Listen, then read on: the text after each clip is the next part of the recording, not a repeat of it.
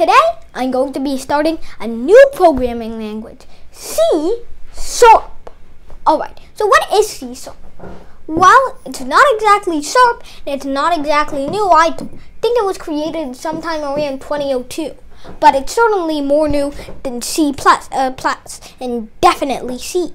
But anyway, C Sharp is well a better program, and I've heard it's much better than C++. Proof I have of this is that I can actually use colored text. C++, get on with it.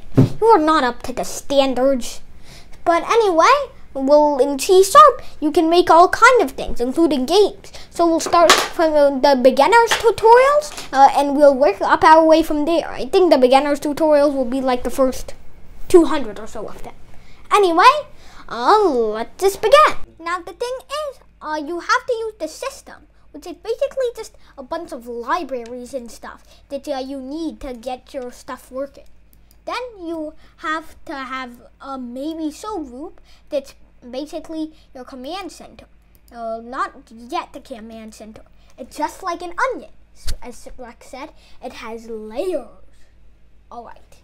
So, class first time, and here is the actually important stuff. Now we'll get to what all of this means in the end of the beginner courses. But all you need to know is that this, inside here, is where we have our command course. I mean our command center. Um, how do you type the messages again? Oh yeah. So this is, no, no, no. This is the command center. I'm not like the new Boston. don't make shameless spelling mistakes. So, um, let's go inside and see what kind of things it has to offer.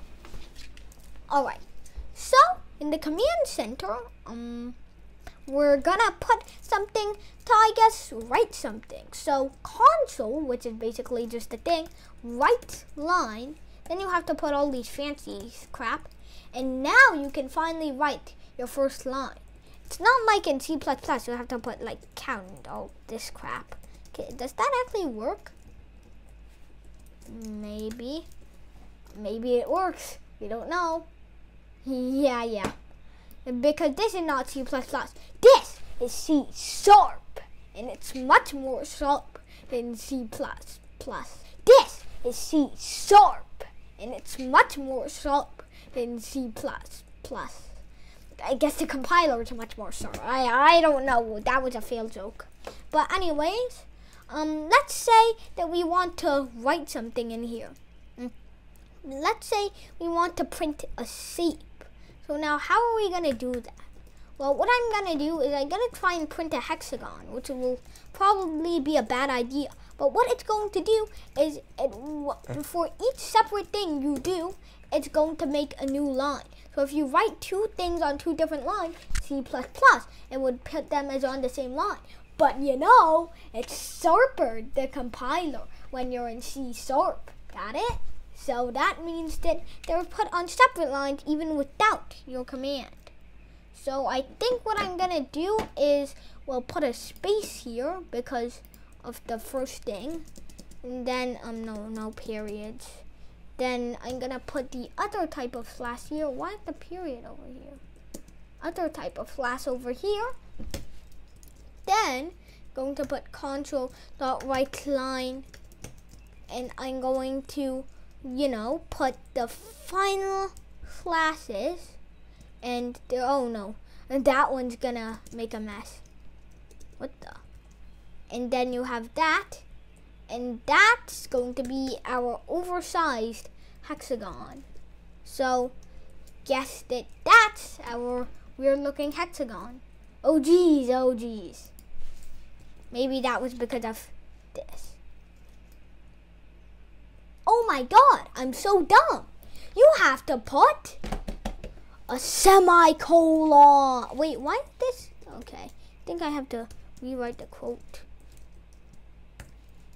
What the hell? Dude, that's weird. But anyway, guess that's a bug. But what, I'm gonna do is I'm going to put a semicolon because I'm a dummy bummy. I didn't do that before. Dude, why is this one not working? Guess I'll just have to write that entire thing again.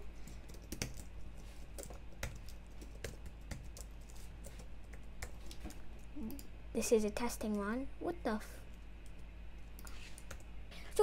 some reason, the compiler is screwing up. I know that the compiler screwed up because I've made many more programs with this exact configuration and it still worked. So the compiler on this exact program decided to fail on me.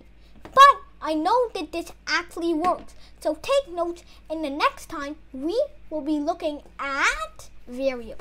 Subscribe to Bari Science Lab to fall in love with math and science, especially programming.